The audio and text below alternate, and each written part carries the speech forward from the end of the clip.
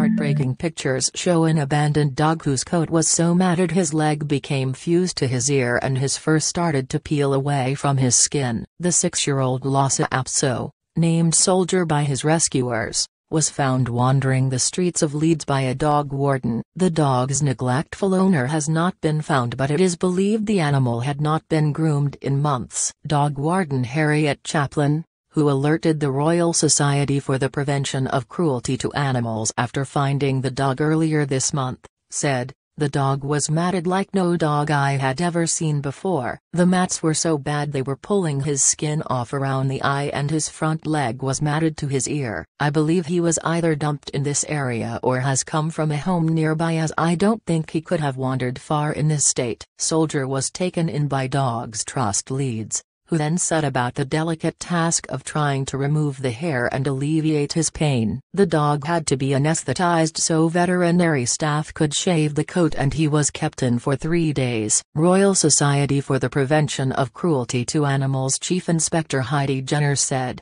this poor dog must have been left without any grooming for months to get into such a state. I can easily say this is the worst case of matted fur that I've ever seen. When you first see the pictures of little soldier you can't even tell he's a dog, let alone what breed he is. To allow an animal to get into this condition is absolutely shocking. There is no excuse for it. Dogs Trust Leeds Rehoming Center Manager, Amanda Sands, said, in 30 years of working at Dogs Trust I have never seen anything so horrific and heartbreaking. He wasn't recognizable as a dog, it was unbelievable. We really didn't know if he was going to make it but we are relieved to say that he has started to eat and we are hoping that he will continue to improve, but it is very early days.